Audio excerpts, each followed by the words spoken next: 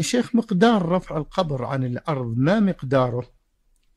قدره قدر شبر من أجل أن يعرف أنه قبر. لا يسوى بالأرض بحيث أنه ما يتبين أنه قبر بل يرفع عن الأرض قدر شبر ويكون مسنما من أجل أن ينزل السيل.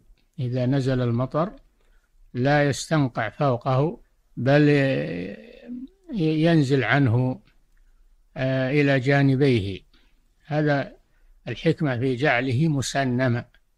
أما الحكمة في كونه قدر شبر هذا لأجل أن يعرف أنه قبر فلا يداس ولا يمتهن. نعم.